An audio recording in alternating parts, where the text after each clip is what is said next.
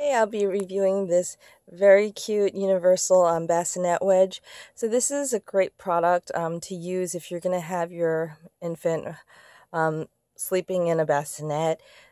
It has the ideal 12-inch um, incline to uh, safely elevate your baby's head. So if your baby is sleeping here, um, it's the it's the ideal angle of incline to keep your your child safe and comfortable. Um, it's very soft. I like the fact that the cover,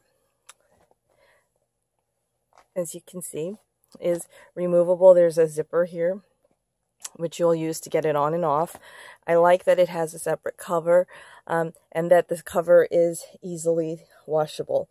Um, and also, to top it all off, it's odor, stain, um, and bacteria resistant as well as um, being hypoallergenic. So it's a product that you can feel good about using with your child and um, you know just also know that it's you know it's safe for them it's easy for you to maintain and just priced very affordably so i highly recommend this product